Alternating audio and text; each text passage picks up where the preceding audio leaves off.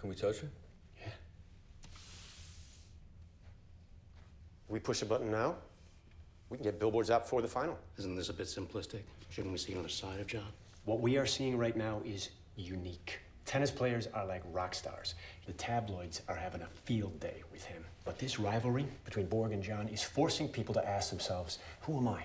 The gentleman or the rebel?